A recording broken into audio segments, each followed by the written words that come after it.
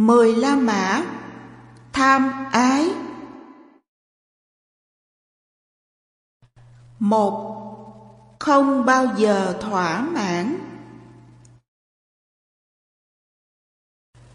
Một thời, Thế Tôn trú ở Savatthi, Jetavana, tại giường ông Anathapindika. Lúc bấy giờ, Thế Tôn gọi các tỷ kheo.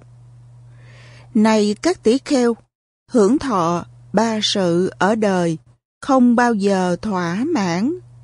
Thế nào là ba? Hưởng thọ ngủ nghỉ, này các tỷ kheo, không bao giờ thỏa mãn. Hưởng thọ rượu men rượu nấu, này các tỷ kheo, không bao giờ thỏa mãn. Hưởng thọ khoái lạc, ân ái nam nữ, này các tỷ kheo, không bao giờ thỏa mãn. Đại Tạng Kinh Việt Nam Tăng Chi Bộ một chương ba phẩm chánh giác phần không thỏa mãn. Viện Nghiên cứu Phật học Việt Nam ấn hành năm 1996, trang 473. Lời bàn Trừ các bậc Bồ Tát vì biên nguyện tái sinh, còn lại hết thảy chúng ta sinh ra trong cõi dục với gốc rễ nghiệp duyên tham ái. Do đó, ái dục là bản chất của con người và sự khác ái trở nên vô cùng tận. Người ta nói lòng tham vô đáy vì lòng tham cùng với sự hưởng thọ các món dục ở đời dường như không bao giờ thỏa mãn. Sự hưởng dục ví như người bị trôi dạt giữa biển khơi khát nước, càng uống nước biển vào lại càng khát, hay giống như người bị bệnh phong cùi, ngồi bên bếp lửa cào cấu vết thương, càng đã ngứa thì vết thương càng lở loét ra thêm. Trong các thú vui ở đời, theo tuệ giác Thế Tôn thì ngủ nghỉ, sử dụng các chất gây nghiện, rượu, ma túy và hoang lạc ân ái nam nữ là không bao giờ thỏa mãn. Như lúc no say, nhu cầu ăn uống tạm ngưng, nhưng rồi không lâu sau con người lại cần ăn uống và điệp khúc này diễn tiến đến hết đời. Thực ra, sự hưởng thọ không bao giờ thỏa mãn ấy là một trong những nhu cầu sống chính đáng của con người. Vấn đề là phải nhận thức rõ ràng về việc ta không bao giờ thỏa mãn với những gì hiện có và nhu cầu hưởng thụ ấy không có điểm dừng để chuyển hóa tham ái của tự thân. Mặt khác nghĩ rằng thỏa mãn các ham muốn là hạnh phúc thì không bao giờ tìm ra hạnh phúc đích thực vì nhu cầu được thỏa mãn vốn đa dạng và vô cùng. Do nhận thức được vấn đề nên người con Phật thiết lập muốn ít và biết đủ, đồng thời làm sung mãn và an tịnh nội tâm bằng thiền định. Lộ trình chuyển hóa tâm từ bớt tham đến ly tham được xây dựng trên nền tảng tuệ giác chứ không phải khổ hạnh hay chịu đựng. Phải thấy được sai lầm trong quan niệm thỏa mãn các nhu cầu tham ái là hạnh phúc để không chạy theo, không tìm cầu hạnh phúc bên ngoài. Hạnh phúc đích thực khi tâm đạt đến trạng thái thanh tịnh, không còn tham ái và chấp thủ. 2. Con dượng và chiếc bẫy Một thời, Thế Tôn trú tại Savatthi, Ngài nói với các tỷ kheo, Này các tỷ kheo, tại núi Chúa Tuyết Sơn có khoảnh đất bằng phẳng khả ái, có các loài dượng và loài người qua lại. Tại đó, những người thợ săn đặt các bẫy nhựa trên đường để bắt những con dượng. Ở đây này các tỷ kheo những con dượng nào tánh không ngu si, không tham ăn, thấy bẫy nhựa liền tránh xa. Còn con dượng nào ngu si tham ăn, thấy bẫy nhựa ấy thò tay nắm lấy và bị dính vào đó ta sẽ gỡ bàn tay ra, nó thò bàn tay khác vào, liền bị dính. ta sẽ gỡ hai tay ra, nó giơ chân nắm lấy và bị dính. Ta sẽ gỡ hai tay và bàn chân ra, nó đưa chân khác vào và bị dính. Ta sẽ gỡ cả hai tay và hai chân ra, nó dùng miệng ngậm vào và bị dính luôn ở đó. Như vậy này các tỷ kheo, con dượng bị dính năm chỗ, nằm rên la rơi vào bất hạnh. Người thợ săn đâm chết nó và nướng nó trên đống củi. Cũng vậy, này các tỷ kheo, nếu đi đến chỗ không phải hành xứ của mình, chỗ cảnh giới của người khác là sắc, thanh, hương, vị và xúc khả lạc, khả ý, hấp dẫn, ác ma sẽ nắm được cơ hội, sẽ bắt được đối tượng. Đại Tạng Kinh Việt Nam tương ưng bộ 5 chương 3, phẩm Amba Pali, phần công dượng, lược, nhà xuất bản tôn giáo năm 2002 trang 230. Lời bàn Sống ở trên đời ai mà không thích được sở hữu năm món dục lạc, sắc đẹp, tiếng hay, hương thơm, vị ngọt và xúc chạm êm ái, luôn là mục tiêu tìm kiếm nhằm chiếm hữu của con người. Miệt mài chạy theo ngũ dục, không bao giờ biết dừng lại, đã dẫn không ít người đến bi kịch bị trói buộc, bị dính mắc và trở thành nô lệ của ngũ dục mà không tự biết. Ngũ dục rất hấp dẫn, đồng thời cũng rất nguy hiểm, luôn rình rập như những chiếc bẫy. Cạm bẫy ngũ dục rất êm ái, được thiết kế bằng một chất keo siêu dính. Một khi đã dướng vào thì con mồi càng dùng dãy lại càng bị dính chặt. Chết trong ngũ dục là chết ngọt, tuy không đau đớn, thậm chí còn ngọt ngào, ngũ dục trói chặt và nhận chìm con mồi cho đến chết. Như con dượng ngu si và tham ăn kia khi đã dính vào bẫy nhựa, càng xoay sở để thoát ra thì lại càng bị dính chặt hơn. Điều đáng lưu ý ở đây là khi đã dính vào một chi, ắt dính luôn các chi còn lại. Con dượng bị dính vào năm chỗ, tứ chi và miệng, để rồi nằm rên la và kết quả phải đến là bị người thợ săn đâm chết rồi nướng cháy trên ngọn lửa. Cũng vậy, ác ma luôn dăng bẫy ngũ dục để chờ đón những tỷ kheo. Trong xã hội phát triển ngũ dục thịnh hành và tất nhiên sự thành công của ác ma không phải là ít. Như những con dượng khôn ngoan kia không đi vào dùng có dăng bẫy, nếu phải đi vào dùng có giăng bẫy, thì cảnh giác tránh xa. Người sơ tâm học Phật không nên đi vào ngũ dục, chỗ không phải hành xứ của mình. Không những thế mà đi đúng vào hành xứ của tỷ kheo, tức thực hành tứ niệm xứ. Được vậy, ác ma sẽ không còn cơ hội, không thể nào nắm bắt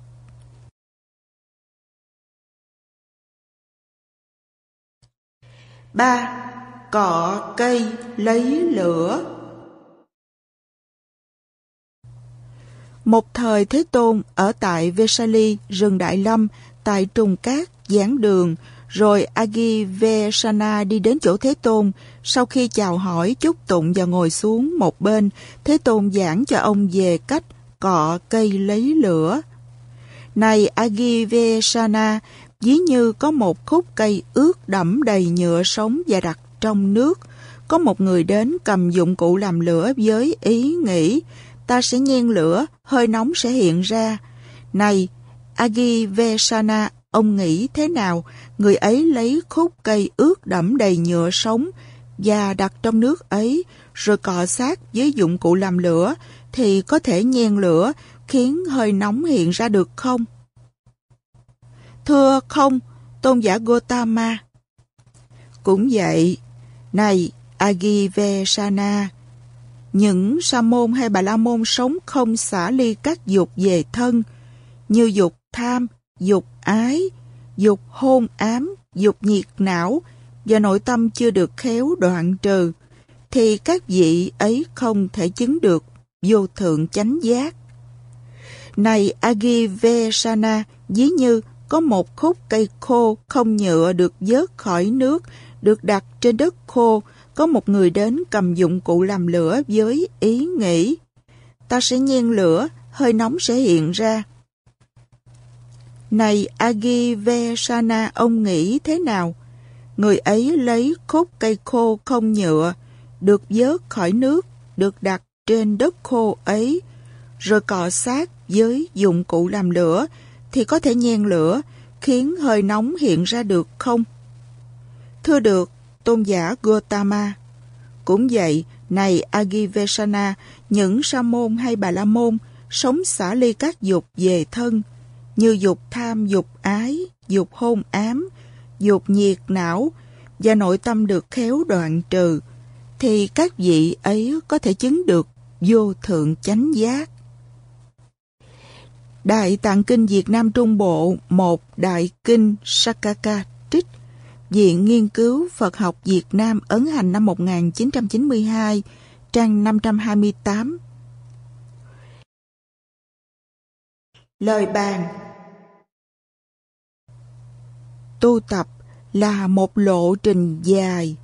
Muốn thành tựu giác ngộ phải từng bước dọn dẹp thân tâm, đoạn trừ phiền não. Nếu không nỗ lực làm đoạn giảm tham ái, thì quả vị giải thoát vẫn còn xa vời, như sự vô vọng của người cọ cây lấy lửa, với một khúc cây ướt đẫm, tràn đầy nhựa sống. Một trong những nguyên lý cơ bản của Niết Bàn là xa lìa và đoạn tận tham dục luyến ái.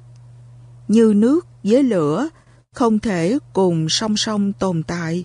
Cũng vậy, Niết Bàn và ái dục không thể dung hợp lẫn nhau, vì thế mà Niết Bàn có một nghĩa là ái diệt. Chuẩn bị cho quả vị vô thượng chánh giác, làm bừng sáng trí tuệ bát nhã, thì tự thân tâm của mỗi hành giả phải xả ly tham ái. Ngọn lửa trí tuệ sẽ bùng cháy khi thân tâm thực sự khô kiệt phiền não. Như cọ sát cành cây khô với dụng cụ làm lửa, mới mong hy vọng có hơi nóng bốc lên và phát hỏa. Để tạo ra lửa, không những cần phải có cành cây khô và dụng cụ làm lửa, mà đòi hỏi phải có một sự kiên trì, bền bỉ và liên tục. Lửa không thể phát sinh nếu quá trình cọ cây bị gián đoạn. Nếu dừng lại thì cành cây sẽ nguội đi và để có lửa, ắt phải cọ sát lại từ đầu. Cũng vậy, trong quá trình đoạn tận tham ái, tinh tấn là yếu tố cực kỳ quan trọng. Lửa vốn sẵn trong cây, chỉ cần làm cho cây khô và kiên trì cọ sát với dụng cụ làm lửa, chắc chắn sẽ có lửa. Giác ngộ vốn ẩn tàng trong chúng sinh dẫu đầy dẫy tham dục, vì thế tinh tấn và ly tham là điều tối cần cho những người con Phật hướng đến vô thượng chánh giác. 4. Vô lượng kiếp luân hồi Một thời Thế Tôn trú ở Savatthi, rồi có nhiều tỷ kheo đi đến ngồi xuống một bên Bạch Thế Tôn. Có bao nhiêu kiếp Bạch Thế Tôn đã đi qua, đã vượt qua? Rất nhiều, này các tỷ kheo, là những kiếp đã đi qua, đã vượt qua. Thật không dễ gì để có thể đếm chúng được là một vài kiếp, một vài trăm kiếp, một vài ngàn kiếp, một vài trăm ngàn kiếp. Bạch Thế Tôn, Thế Tôn có thể cho một ví dụ được không? Ở đây này các tỷ kheo, có bốn vị đệ tử sống đến một trăm năm. Cứ mỗi ngày, họ nhớ đến trăm ngàn kiếp. Này các tỷ kheo, các kiếp được họ nhớ đến là vậy. Nhiều như vậy này các tỷ kheo là những kiếp đã đi qua, đã vượt qua. Thật không dễ gì để có thể đếm chúng được là một vài kiếp, một vài trăm kiếp, một vài ngàn kiếp, một vài trăm ngàn kiếp. Vì sao? Vô thủy là luân hồi này.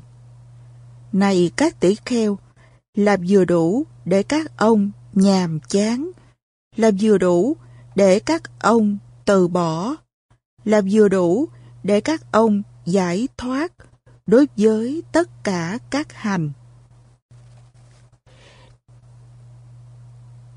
Đại Tạng Kinh Việt Nam tương ưng bộ 2 chương 4 phẩm 1 phần các đệ tử. Viện Nghiên cứu Phật học Việt Nam ấn hành năm 1993 trang 317 Lời bàn. Trừ các bậc thánh A-la-hán, không một ai có thể biết được chúng ta từ đâu đến và sẽ đi về đâu trong cuộc tử sinh bất tận, vô thủy và vô chung này. Thế giới vô biên, những chúng sinh sống trong các thế giới vô số lượng và sự sinh tử luân hồi của họ cũng vô cùng. Luân hồi là hình ảnh bánh xe quay tròn quay mãi không dừng. Sự trôi lăn sinh tử lên xuống của chúng sinh trong sáu nẻo trời, người, Atula, súc sinh ngạ quỷ và địa ngục cũng như vậy. Chính nghiệp hoặc thiện hoặc ác do mỗi chúng sinh gây tạo trong quá khứ và hiện tại là động lực thúc đẩy tiến trình tái sinh. Trong đó, tham ái là tác nhân quan trọng chính yếu nhất của chu trình luân hồi sinh tử. Có thể nói tham ái là dấu hiệu nổi bật nhất để một cá nhân tự nhận biết mình đang còn bị kềm tỏa bởi luân hồi. Nói cách khác, còn tham ái là còn luân hồi, chưa thể giải thoát được. Mà ai trong chúng ta là người đã hết sạch tham ái, bớt đi hoặc ít lại những tâm tham, niệm ái trong cuộc sống là đã quý lắm rồi. Vậy nên dòng luân hồi tự muôn đời vẫn luôn nhộn nhịp đông vui. Dù vậy bánh xe quay nếu hết trớn cũng dừng, ngọn đèn cháy hết dầu phải tắt, dòng luân hồi vô tận kia nếu diệt hết tham ái cũng phải dở tan. Giới, định và tuệ chính là những chất liệu làm sói mòn tham ái, tan chảy cơ chế tái sinh. Vì thế, để chấm dứt luân hồi, mỗi người con Phật phải tự nỗ lực đoạn trừ tham ái bằng cách thành tựu tam vô lậu học. năm Như cá mắc câu Một thời Thế Tôn ở Rajagaha tại vườn xoài Rivaka gọi các tỷ kheo. Này các tỷ kheo, ví như một người câu cá trong hồ nước sâu, quăng xuống nước một lưỡi câu có mắt mồi. Một con cá đớp mồi, nuốt lưỡi câu ấy. Như vậy này các tỷ kheo, con cá ấy vì nuốt lưỡi câu nên đi đến bất hạnh, đi đến ách nạn, bị người câu cá muốn làm gì thì làm. Cũng vậy này các tỷ kheo, có sáu lưỡi câu trong đời, đưa đến bất hạnh cho loài hữu tình, đưa đến tai hại cho các loài chúng sinh, thế nào là xấu? Này các tỷ kheo, có những sắc, do mắt nhận thức, khả lạc, khả hỷ, khả ái, hấp dẫn, liên hệ đến dục. Nếu hoan hỷ, tán dương, tham luyến và an trú vào sắc ấy, thì này các tỷ kheo được gọi là nuốt lưỡi câu của ác ma, đã đi đến bất hạnh, đã đi đến ách nạn, đã bị ác ma muốn làm gì thì làm. Này các tỷ kheo có những tiếng do tai nhận thức, có những hương do mũi nhận thức, có những vị do lưỡi nhận thức, có những xúc do thân nhận thức, có những pháp do ý nhận thức, khả lạc khả hỷ, khả ái hấp dẫn, liên hệ đến dục.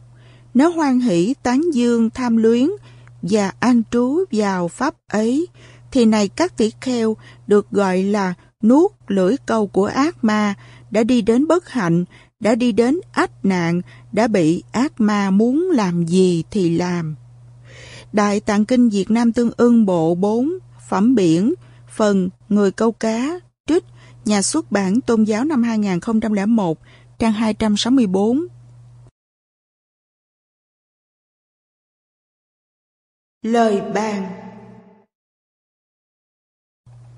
Các giác quan của con người là những công cụ để nhận thức thế giới khách quan và cả chiều sâu nội tại trong tâm thức của từng chủ thể. Những giác quan ấy kinh Phật gọi là căn và phòng hộ, thu thúc sáu căn là một trong những pháp tu cực kỳ quan trọng trong Phật giáo. Có thể nói từ nơi sáu căn này mà mỗi người tự xây dựng cho mình một thế giới an vui tịnh lạc của giải thoát niết bàn hay ngược lại là cảnh giới khổ đau đọa lạc.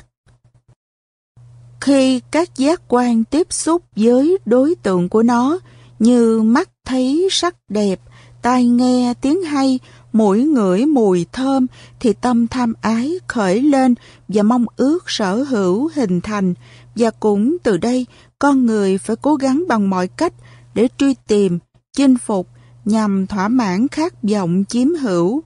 Thế Tôn gọi hành vi này là nuốt phải lưỡi câu có gắn mồi dục vọng của ác ma và bị ác ma muốn làm gì thì làm. Đành rằng phấn đấu để xây dựng cuộc sống hoàn thiện đầy đủ, sung túc là tiêu chí chung của nhân loại, nhưng vì lòng tham không bao giờ thỏa mãn, nên cuộc đời mãi mãi là cuộc hành trình hướng về, hướng đến trong chi phối của tham dục và vô minh mà thôi. Trong thực tế chúng ta khổ đau không phải vì thiếu thốn mà vì mong ước quá nhiều, tham vọng quá lớn. Do vậy, giữ tâm chánh niệm khi sáu căn tiếp xúc với sáu trần để không bị lôi kéo, không chạy theo, không đánh mất mình là tránh được lưỡi câu của ác ma. Sống trong trần thế mà chẳng nhiễm bụi trần chính là nhờ sự tu tập giữ gìn, phòng hộ sáu căn này. 6. Trúng tên độc Một thời Thế Tôn trú ở Savatthi dạy các tỷ kheo.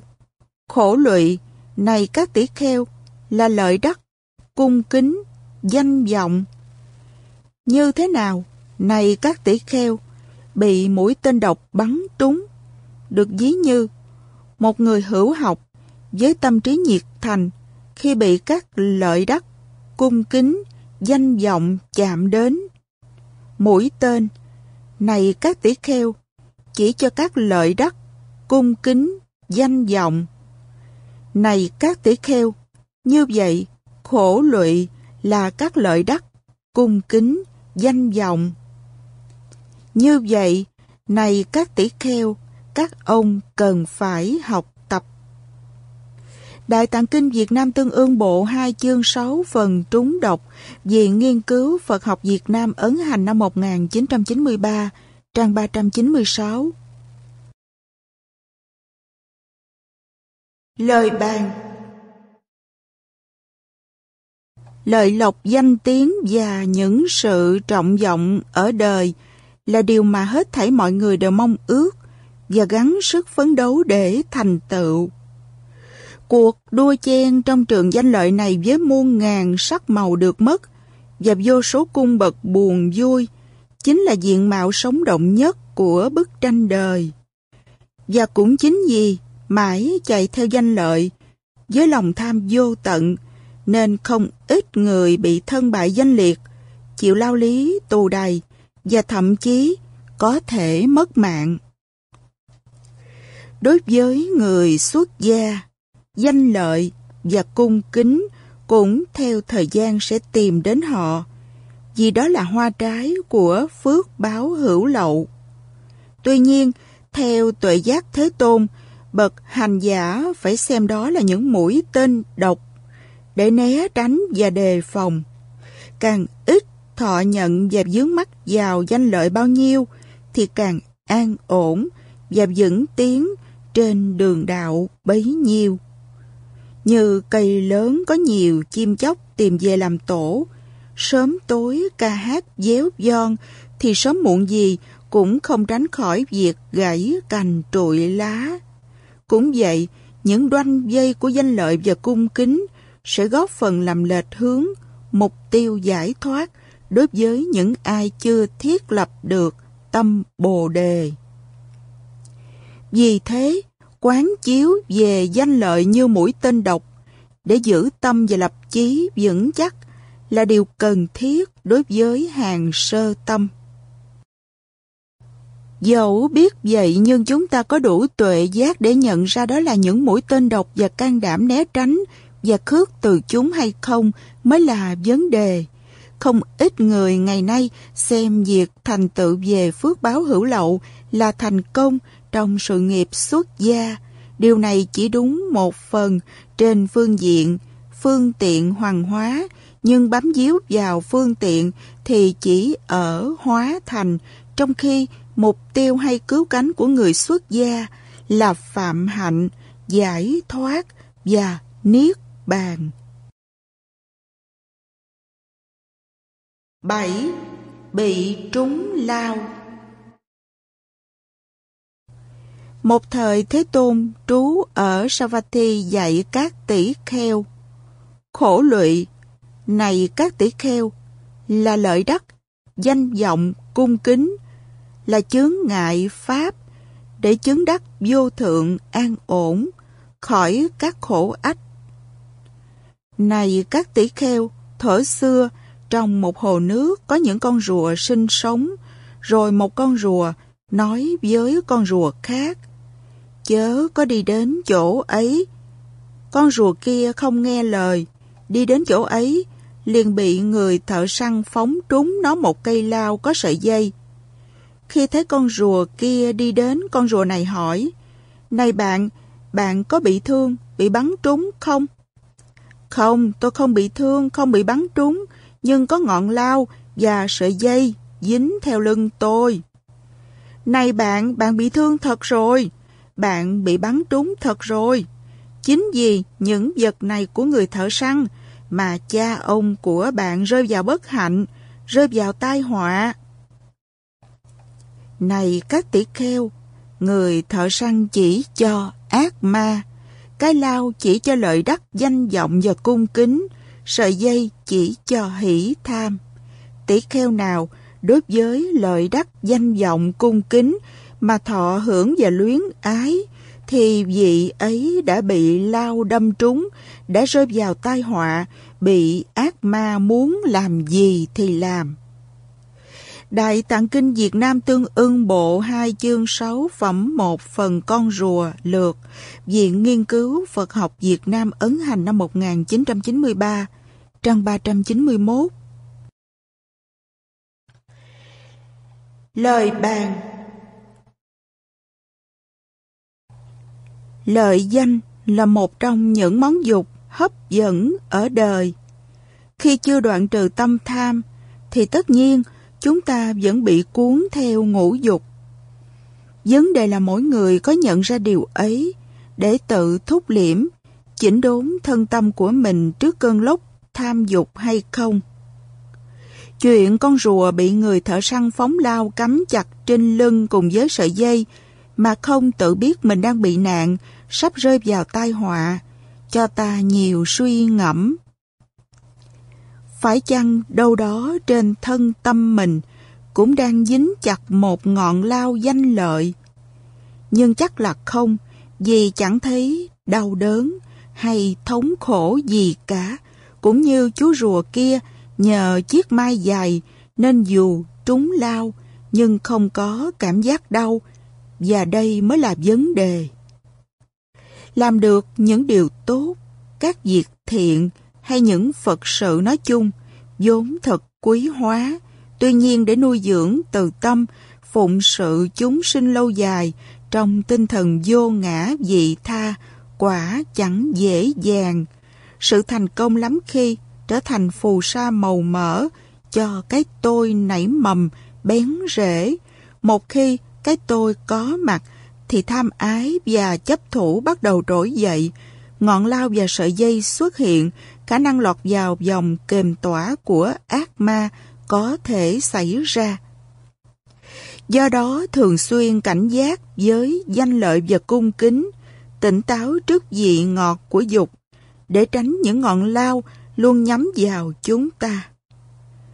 Người thợ săn dễ dàng khống chế, bắt làm thịt con rùa đã trúng lao.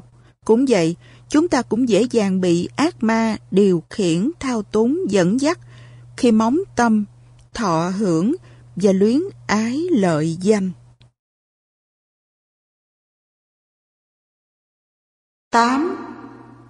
Bị trói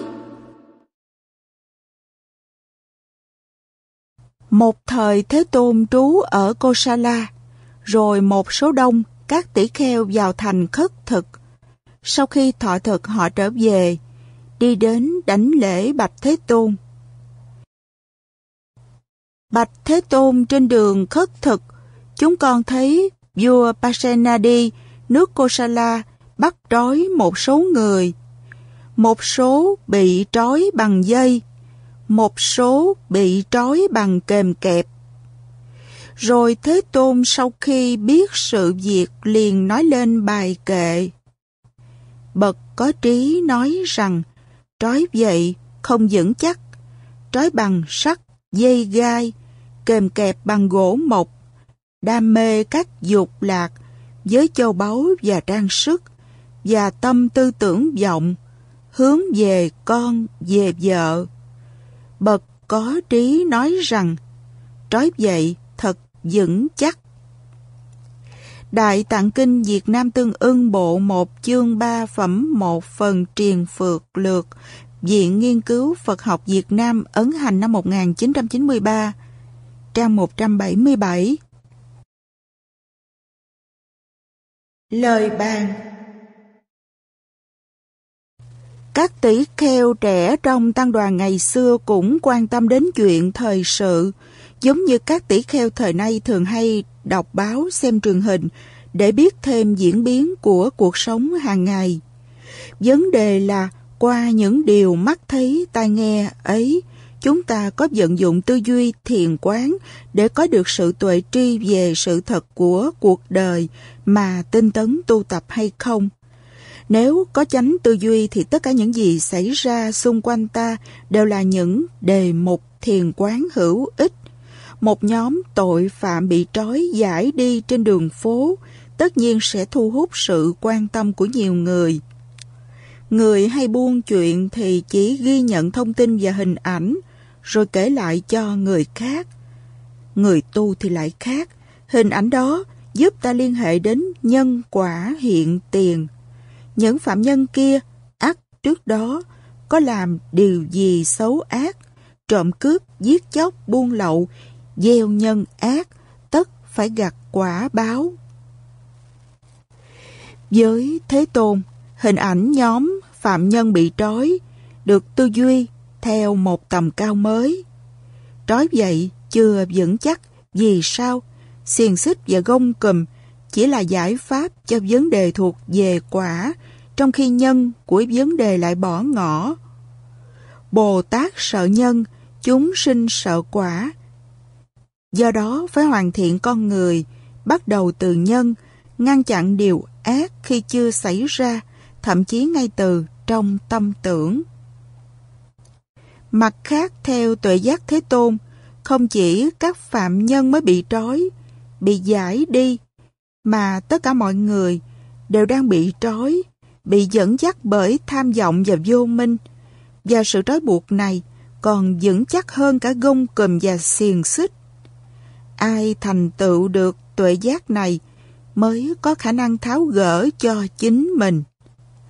Vui vẻ hoan hỷ và tự nguyện được trói buộc theo dục vọng lợi danh mà không tự biết còn nguy hại giam hãm con người hơn cả ngục tù. Vì vậy, người con Phật cần quán chiếu, sớm nhận ra dây trói tham vọng và vô minh để cắt đứt, tự giải thoát cho chính mình.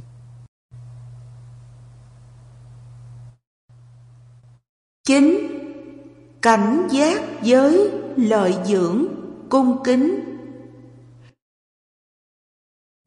Một thời Thế Tôn trú ở Rajagaha tại Veluvana, lúc bấy giờ hoàng tử Ajatasattu, Asa Thế, sáng chiều đi đến hầu Devadatta, Devadatta với 500 cổ xe và cúng dường các món ăn trong 500 mâm bàn.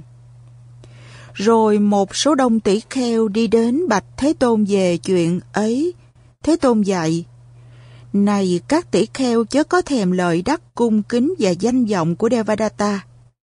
Dĩ như, này các tỷ kheo, nếu đem bóp lá gan trước mũi con chó dữ, thì con chó càng dữ dội, bội phần.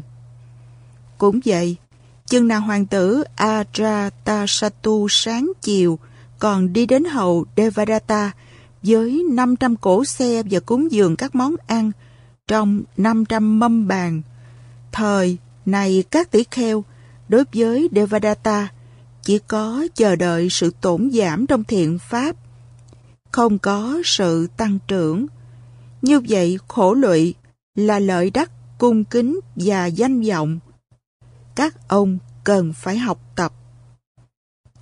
Đại Tạng Kinh Việt Nam Tương ưng Bộ 2 chương 6 phẩm 4 phần xe lược Viện Nghiên cứu Phật học Việt Nam ấn hành năm 1993 trang 421 Lời bàn Người tu hành đức độ uy tín càng cao thì tín đồ nương tựa càng nhiều cung phụng càng hậu. Tuy hình thức có thọ nhận nhưng đối với bậc chân tu, tâm luôn hỷ xả, chủ yếu là làm ruộng phước cho chúng sinh. Còn đối với người mới tu hoặc tu lâu mà chưa chứng, thì đối với lợi dưỡng chỉ cần vừa đủ và phải dè chừng, vì đó là nợ. Ngoài ra, người tu cần tỉnh táo để khỏi mất mình, bởi thiên hạ có thể mua đức chúng ta bằng hình thức cúng dường, trọng vọng. Chuyện dương tử Ajatasattu dợp dĩnh cung kính trọng vọng tỷ kheo Devadatta thời Thế Tôn tại thế là một điển hình. Ajatasattu âm mưu xoắn đoạt ngai vàng nên cấu kết tranh thủ sự ủng hộ của Devadatta bằng cách cúng dường hậu hỷ và Devadatta với tham vọng làm giáo chủ nên liên minh ma quỷ giữa họ càng thấm thiết hơn. Những tân tỷ kheo chưa có tuệ nhãn nhìn Devadatta áo mão xinh sang, lên xe xuống ngựa, thường hội đàm với vua quan, thì suýt xoa ngưỡng vọng. Vì vậy, Thế Tôn đã kịp thời cảnh tỉnh hiện tượng Devadatta là khổ lụy, là sự tổn giảm trong thiện pháp. Một sự lệch hướng tu tập trầm trọng, cần phải chấn chỉnh kịp thời. Thì ra có những sự cúng dường đúng pháp và phi pháp. Đối với sự cúng dường đúng pháp, người tu còn phải tự lượng sức mình, muốn ít và biết đủ để chuyển hóa tham lam, nói chi đến cúng dường phi pháp. Nợ của đàn na tính thí, người tu có thể trả được bằng sự tu hành của chính mình, nhưng nợ của những âm mưu và tham vọng thế tục thì chẳng những không trả nổi mà còn gánh chịu hậu quả mất mạng vong thân. 10. Nguy hiểm của đam mê rượu chè một thời Thế Tôn trú ở Rajagaha tại Veluvana, bấy giờ Shingalaka, gia chủ tử dậy sớm ra khỏi thành dương xá, chắp tay đảnh lễ sáu phương. Rồi Thế Tôn buổi sáng vào thành dương xá khất thực sau khi dạy Singalaka về ý nghĩa đảnh lễ sáu phương, Ngài dạy thêm. Này gia chủ tử, đam mê các loại rượu có xấu nguy hiểm, tài sản hiện tại bị tổn thất, đấu tranh tăng trưởng, bệnh tật dễ xâm nhập, tổn thương danh dự, để lộ âm tàn. Và trí lực tổn hại. Này gia chủ tử, đam mê các loại rượu có xấu nguy hiểm như vậy.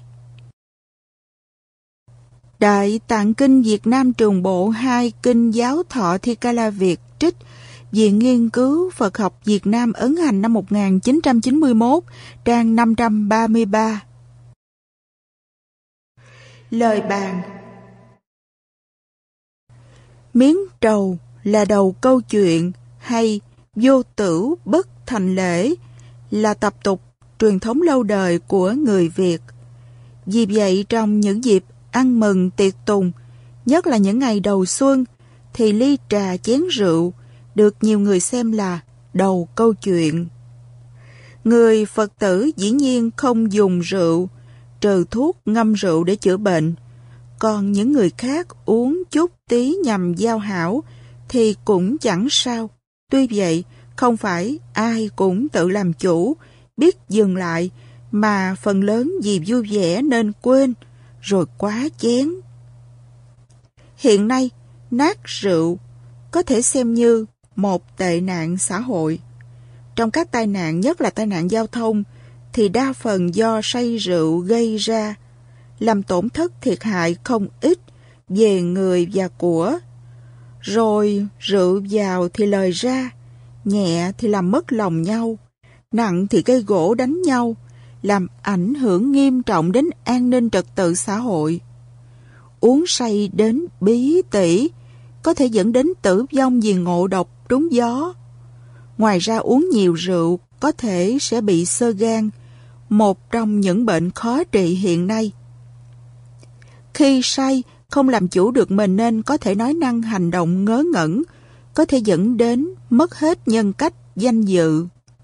Chuyện người say đến độ dứt bỏ cả y phục làm trò cười cho thiên hạ, đến khi tỉnh lại dở khóc dở cười cũng không phải là chuyện lạ.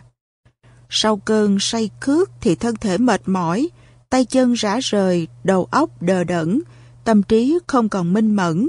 Đó là những nguy hiểm do uống quá nhiều rượu gây ra. Vì say rượu có xấu nguy hiểm như thế nên Thế Tôn luôn khuyến khích hàng Phật tử từ bỏ. Người con Phật phát nguyện không uống rượu, không sản xuất, không mời mọc, không ca ngợi việc uống rượu. Cố nhiên, rượu vẫn phổ biến trong đời sống xã hội. Vấn đề là cần nhận thức rõ ràng tất cả những nguy hiểm của nó nhằm tự chế ngự khi dùng và phấn đấu để đạt đến chấm dứt đoạn tuyệt với say sưa. 11. Dướng mắt ngũ dục Một thời Thế Tôn trú tại Savatthi dạy các tỷ kheo. Khổ lụy, này các tỷ kheo, là lợi đắc, cung kính và danh vọng. Này các tỷ kheo, ví như có một con dê cái lông dài đi vào một khóm cây gai gốc, chỗ này chỗ kia nó bị mắc dính vào, chỗ này chỗ kia nó bị dướng mắc vào, chỗ này chỗ kia nó bị trói buộc vào, chỗ này chỗ kia nó bị rơi vào bất hạnh tai họa. Cũng như vậy này các tỷ kheo, ở đây có tỷ kheo bị lợi đắc cung kính danh vọng chi phối. Tâm vị ấy bị xâm chiếm, vào buổi sáng đắp y mang bát đi vào làng khất thực. Chỗ này chỗ kia vị ấy bị mắc dính vào, chỗ này chỗ kia vị ấy bị dướng mắc vào. Chỗ này chỗ kia vị ấy bị trói buộc vào. Chỗ này chỗ kia vị ấy bị rơi vào bất hạnh, tai họa. Như vậy này các tỷ kheo, dính mắc vào lợi đắc, cung kính và danh vọng là khổ lụy. Các ông cần phải học tập. Đại Tạng Kinh Việt Nam tương ưng bộ 2 chương 6 phẩm 1 phần lông dài, Viện Nghiên cứu Phật học Việt Nam ấn hành năm 1993 trang 393. Lời bàn Một người khi mới phát tâm tu thường nhủ lòng thệ nguyện phải xả phú cầu bần, xả thân cầu đạo. Cái sơ tâm đẹp đẽ và cao thượng lắm, nếu giữ được tấm lòng son ấy, chắc chắn con đường thành Phật, Bồ Tát, tuy không gần nhưng cũng chẳng xa. Ấy thế mà, một vài người trong chúng ta thì nhất niên Phật hiện tiền, rồi nhị niên Phật thăng thiên. Tất lòng son tuy lóe sáng, nhưng không phải ai cũng vững vàng trước bảo tố cám dỗ của cuộc đời. Có kẻ đèn lòng dục tắt, có người sơ tâm leo lét chập chờn, vì vậy mà không đủ sáng suốt để soi đường cho cả chính mình. Nói gì soi sáng cho người, đến nỗi phải dấp ngang té dọc, nếm đủ trần ai. Như con dê lông dài chui vào bụi gai, càng dùng dãy thì càng bị dính chặt. Người tu chẳng may dướng vào danh lợi và cung kính, lại càng khó thoát ra. Đành rằng tu tập sẽ đem đến phước báo, tuy hướng về không, nhưng có vẫn đủ đầy. Song ngũ dục có sức mê hoặc kỳ lạ, làm cho một vài người mụ mị bỏ không để chạy theo, nắm giữ cái có, để rồi hoàng không mất trắng, rơi vào khổ lụy. Hẳn nhiên, đi trong hồng trần làm sao không dính bụi trần. Người tu sống trong cõi dục khi chưa thực sự vững chãi giải thoát, thì ít nhiều cũng bị dục nhiễm xâm chiếm. Vấn đề là phải thấy được sự nguy hiểm của nó. Con kiến chết trong chén mật là chết chìm chết ngọt, chứ không hề chết đói.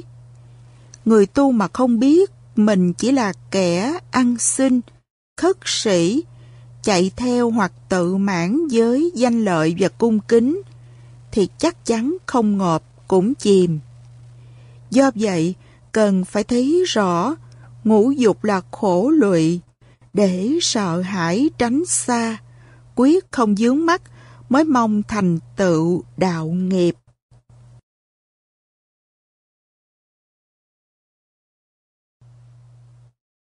Mười hai Chúng sinh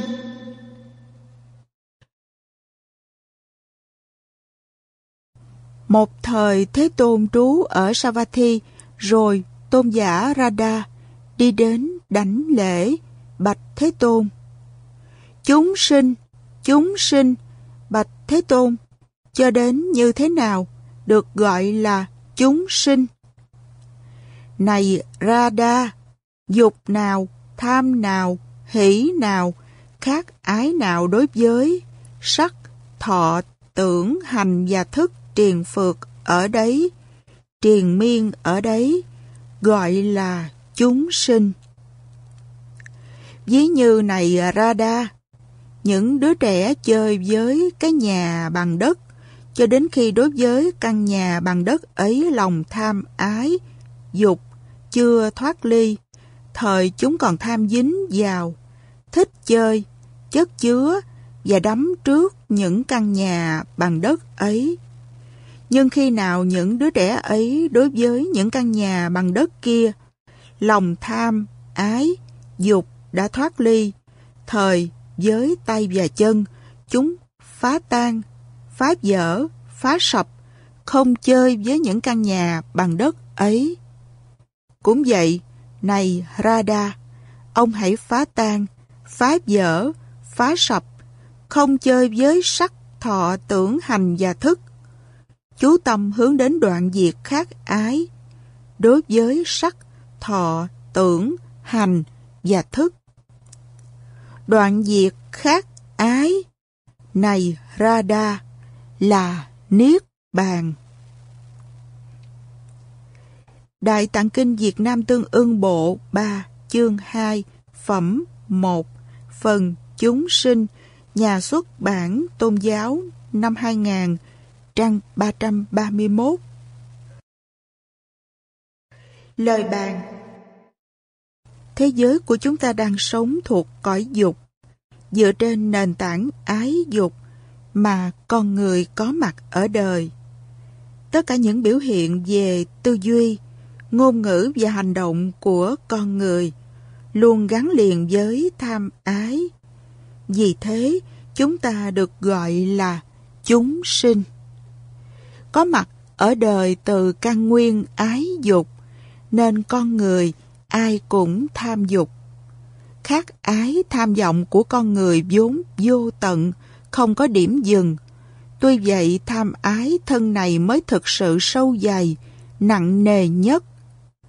Tất cả những việc làm của con người đều không ngoài mục đích phục vụ cho cái tôi, bị trói buộc triền miên với tự ngã, do đó gọi là chúng sinh. Theo tuệ giác Thế Tôn chúng sinh luyến ái tự ngã, cũng giống như trẻ con nghịch đất, yêu thích những ngôi nhà bằng đất do chúng đắp nên. Lũ trẻ đâu biết rằng cái thiên đường bằng đất thân yêu ấy thật mong manh, dễ dở. Cũng vậy, thân tâm này là của tôi, là nhất, là bất khả xâm phạm. Nhưng sự thật thì, thân tâm này có đó rồi không đó, sinh, già, bệnh, chết, chi phối mãnh liệt mà chẳng ai có thể làm gì khác được.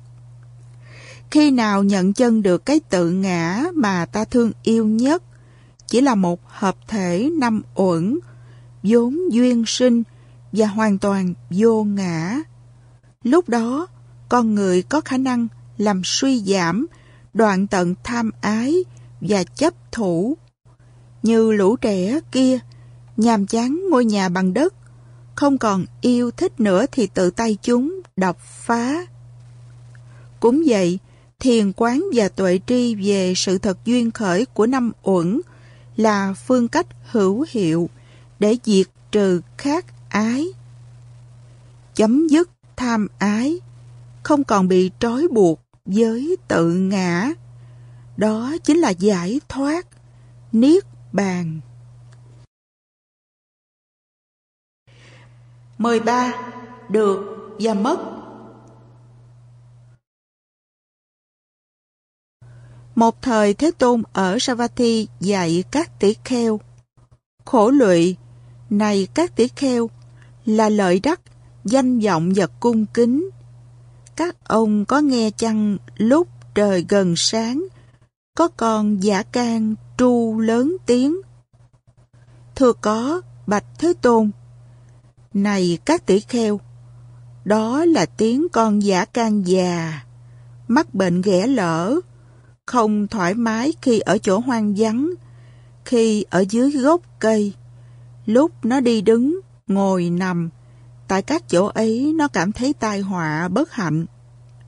Cũng vậy này các tỷ kheo, ở đây, tỷ kheo nào bị lợi đắc cung kính và danh vọng chi phối. Tâm bị xâm chiếm thì vị ấy không thoải mái khi ở chỗ hoang vắng, khi ở dưới gốc cây, lúc đi đứng ngồi nằm. Tại các chỗ ấy, vị ấy cảm thấy tai họa bất hạnh. Như vậy này các tỷ kheo, khổ lụy là lợi đắc danh vọng và cung kính. Đài Tạng Kinh Việt Nam Tương ưng Bộ 2 chương 6 phẩm 1 Phần Con Giả Can Viện Nghiên cứu Phật học Việt Nam ấn hành năm 1993 trang 397 Lời bàn Một phần của sự thành công trong cuộc sống chính là thành tựu tiền tài danh vọng và được mọi người kính trọng. Đây cũng chính là mục tiêu phấn đấu của mọi người, luôn mong mỏi và dương tới một tương lai tươi đẹp hơn. Để đạt được điều đó, con người phải phấn đấu thật nhiều nếu muốn đi lên bằng con đường lương thiện, chân chánh. Riêng đối với những người phát nguyện ly tục tìm cầu giải thoát, thì sự thành tựu về lợi dưỡng cung kính và danh vọng, nếu có, cũng chỉ là phương tiện để hành đạo, chẳng có gì để lưu tâm, dướng bận, việc cứu cánh của họ là giải thoát sinh tử. Tuy vậy không phải người tu nào cũng đầy đủ chánh kiến để vượt qua những trói buộc. Hệ lụy tầm thường này, thậm chí một vài người còn chạy theo bị trói buộc nặng nề để rồi rơi vào khổ lụy, luôn sống trong tai họa và bất hạnh. Dùng hình ảnh con giả can già bị ghẻ lỡ hành hạ tru tréo thống khổ trong đêm tối, vì đau nhất, không lúc nào được an ổn. Để liên tưởng đến sự khổ lụy của con người khi bị trói buộc vào danh lợi, thật ấn tượng. Cố nhiên, danh lợi sẽ đến với người tu hoặc nhiều hoặc ít, vì lẽ đó là phước báo. Cái được này là kết quả hiển nhiên, không mong cầu vì phước báo tròn đầy. Càng xả bao nhiêu thì lại được bấy nhiêu, nhưng nếu khởi tâm tìm cầu khao khát thì chẳng những không được gì mà còn bị mất trắng. Mà dẫu có được chăng thì vẫn là mất vì tâm chạy theo danh lợi đã thiêu đốt, hành hạ, làm chúng ta luôn bất an. Bởi chính những bất hạnh này là vật cản, chướng ngại trên lộ trình hướng đến ly tham, thành tựu giải thoát. Tu tập là xả ly mọi sự ràng buộc, mà đỉnh cao là thành tựu niết bàn. Tùy duyên không chấp thủ, thảnh thơi và tự tại luôn là mục tiêu hướng đến của mọi người con Phật.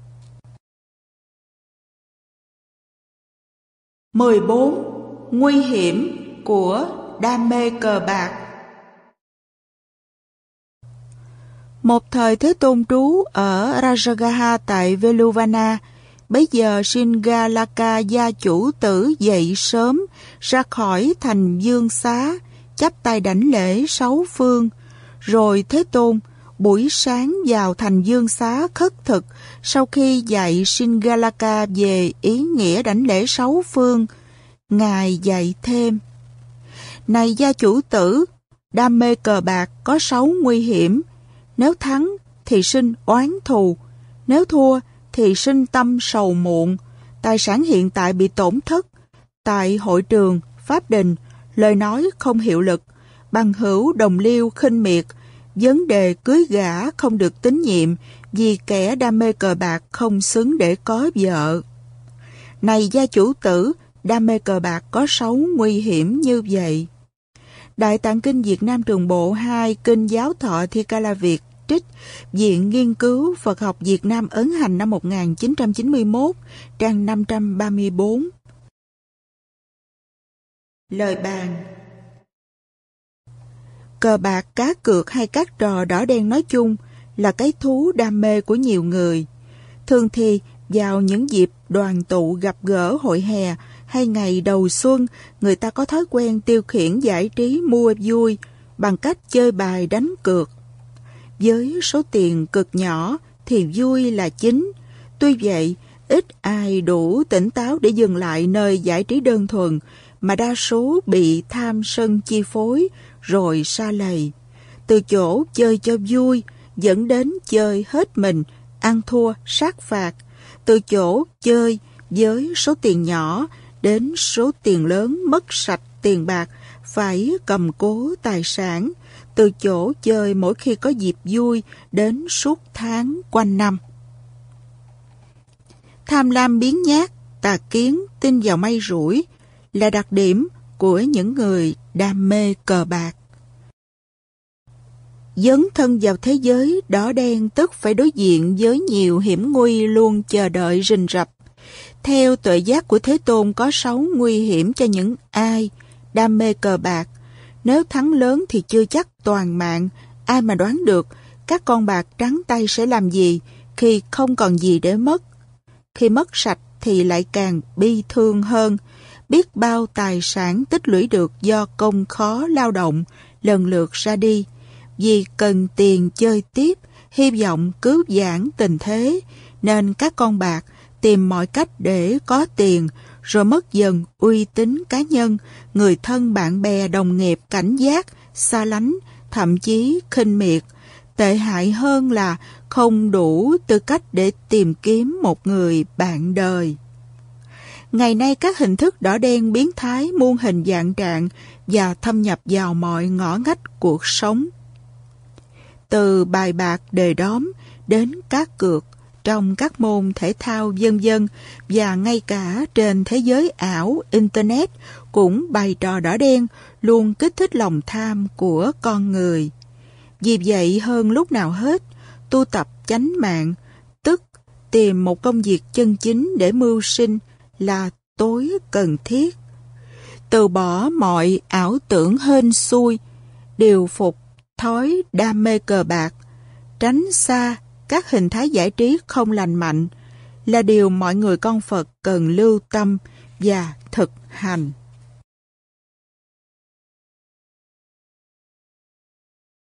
mười lăm Đằng sau miếng mồi ngon là khổ lụy. Một thời Thế Tôn trú ở Savatthi tại vườn ông Anathapindika, rồi Thế Tôn gọi các tỷ kheo và nói như sau. Khổ lụy, này các tỷ kheo, là lợi đắc, cung kính, danh vọng, thật là đắng cay ác độc, là chướng ngại pháp, để chứng đạt vô thượng an ổn, khỏi các khổ ách. Ví như, này các tỷ kheo, một người câu cá quăng một lưỡi câu có gắn mồi thịt vào trong một hồ nước sâu, và một con cá có mắt thấy mồi thịt nuốt lưỡi câu ấy. Như vậy này các tỷ kheo, con cá đó nuốt lưỡi câu ấy, bị rơi vào bất hạnh, bị rơi vào tai họa, bị người câu cá muốn làm gì thì làm. Người câu cá này các tỷ kheo chỉ cho ác ma. Lưỡi câu có gắn mồi thịt, chỉ cho lợi đắc, danh vọng và cung kính. Tỷ kheo nào thọ hưởng ái luyến lợi đắc, danh vọng và cung kính đã đến. Tỷ kheo ấy được gọi là tỷ kheo đã nuốt lưỡi câu của ác ma, bị rơi vào bất hạnh, bị rơi vào tai họa, bị ác ma muốn làm gì thì làm.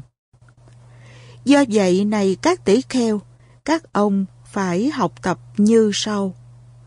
Đối với lợi đắc, danh vọng và cung kính đã đến, chúng ta hãy từ bỏ chúng đối với lợi đắc, danh vọng và cung kính chưa đến, chúng ta không để chúng xâm chiếm tâm và an trú.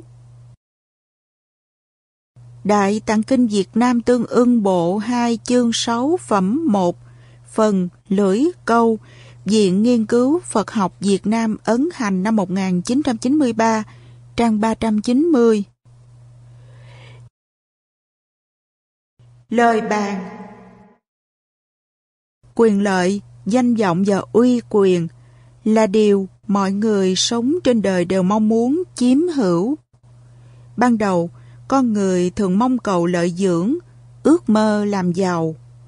Một khi đã đầy đủ về phương diện vật chất, con người có khuynh hướng tìm cầu địa vị, chức tước và danh vọng.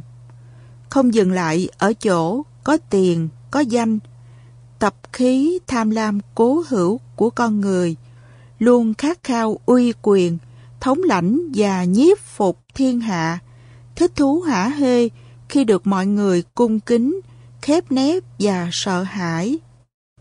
Lợi danh và cung kính thật ngon ngọt hấp dẫn, nhưng lại không có nhiều, nên mọi người phải tranh chấp, sâu xé chụp giật.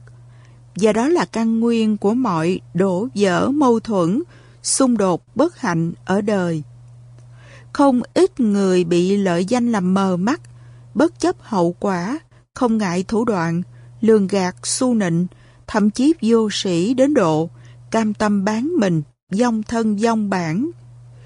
Theo tuệ giác của Thế Tôn, danh lợi và cung kính, giống như miếng mồi ngon bao bọc bên ngoài một lưỡi câu sắc nhọn. Đối với người xuất gia, tiếp xúc với mồi ngon lợi danh và cung kính thì lại càng cẩn trọng hơn. Vì người xuất gia có một điểm kỳ đặc khác với người đời là sau một thời gian tu hành thì phước đức tăng trưởng dẫu không cầu nhân lợi danh và cung kính tự đến. Thọ nhận sự dân cúng, tôn vinh và kính trọng của tín đồ là trách nhiệm của người xuất gia để tạo phước báo cho tín đồ.